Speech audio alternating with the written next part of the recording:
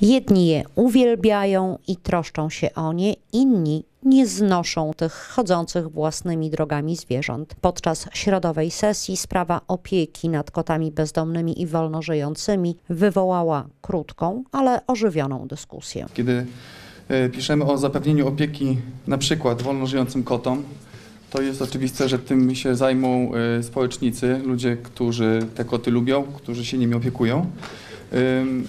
I tutaj wiem, że wśród Suwalczan ym, ten program jest i, i, i znany, i, y, i wypełniany, natomiast y, są przypadki, kiedy zarządcy nieruchomości, tu się zwracam do spółdzielni mieszkaniowych, do wspólnot, utrudniają to, tę opiekę, zwłaszcza nad kotami.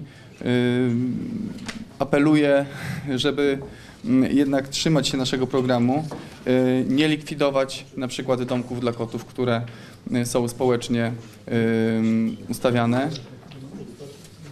Bardzo proszę, tutaj na, na, sali są osoby, które y, mają też na to wpływ. Y, Kłaniam się koledze radnemu Tadeuszowi Czerwieckiemu.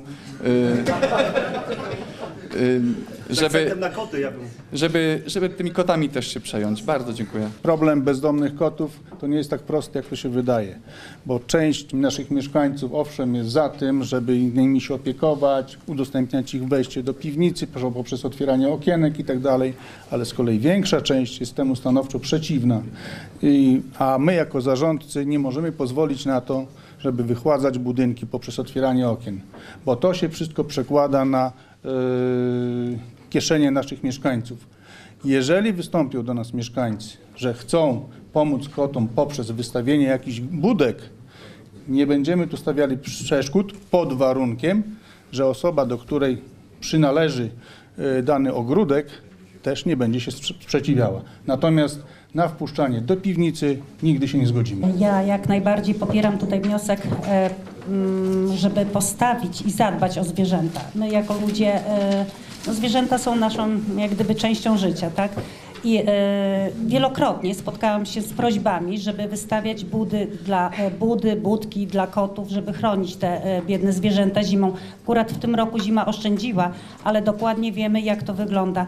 Także E, Myślę, że rolą miasta jest e, wsparcie zwierząt i tutaj też proszę o uwzględnienie tego, może niekoniecznie mieszkania czy ogródki, tak, bo to też trzeba rozumieć mieszkańców, ale e, w interesie miasta jest zadbanie w taki cywilizowany sposób jak w XXI wieku, żeby zwierzęta po prostu miały i były dokarmione, miały miejsca, e, gdzie mogą nocować, ale też i właściwie sterylizowane. Miasto ym, przekazuje y, budki ym, opiekunom kotów. Opiekunowie kotów społeczni są rejestrowani w, y, w mieście, także od strony samorządu można powiedzieć, że ten program działa. Tutaj y, to jest kwestia zarządców y, nieruchomości, którzy po prostu muszą, tak jak pan prezes powiedział, wyrazić wolę.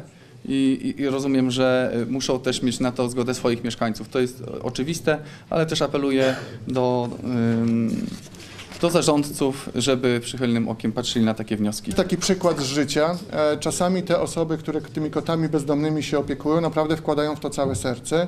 I chociażby e, inicjatywa, która pojawiła się tutaj na zapleczu jakby budynku Soku przy ulicy Noniewicza. E, tam, tam jest taki parking właśnie za budynkiem toalety publicznej i właśnie i Soku. Przy wiacie śmietnikowej były koty wolno żyjące, które bytowały i tam były dokarmiane. Były jakby, no, jak to panie jakby stwierdziły, były straszone przez e, osoby spożywające alkohol też w tym samym zakamarku. W związku z tym pojawiła się taka inicjatywa, żeby wygrodzić tam kawałeczek miejsca e, i ustawić te budki w taki sposób cywilizowany, do którego osoby postronne nie miały miejsca. To zostało przez miasto zrobione przez Zarząd Dróg i Zieleni.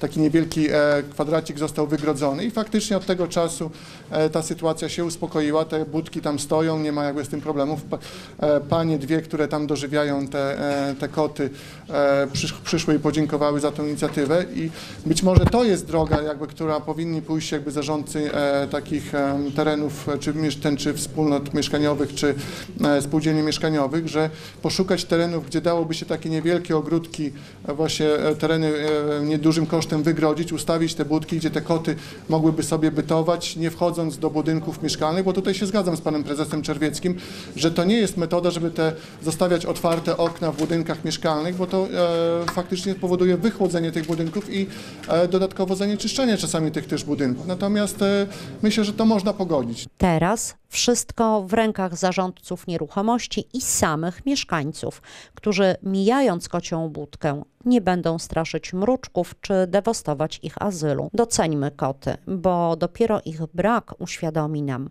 jak ważna jest ich rola w mieście.